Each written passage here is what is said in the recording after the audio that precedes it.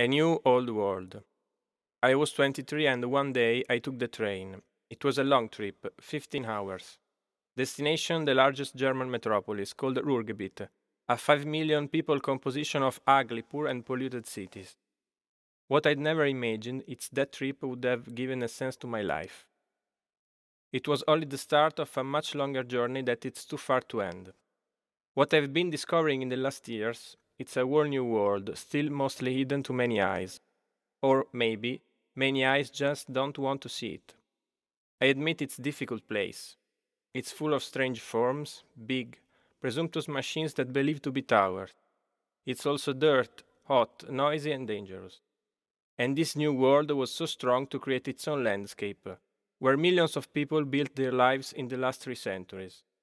But today, most of the time, in this new world, the silence is the greatest noise.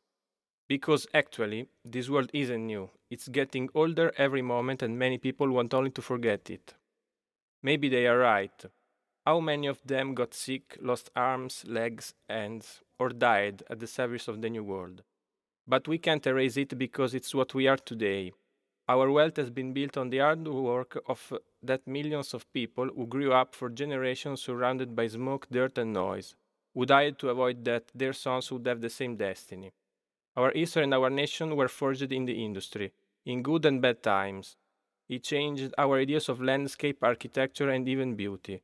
This is the heritage we leave to the next generation, and it's our commitment to take care of it.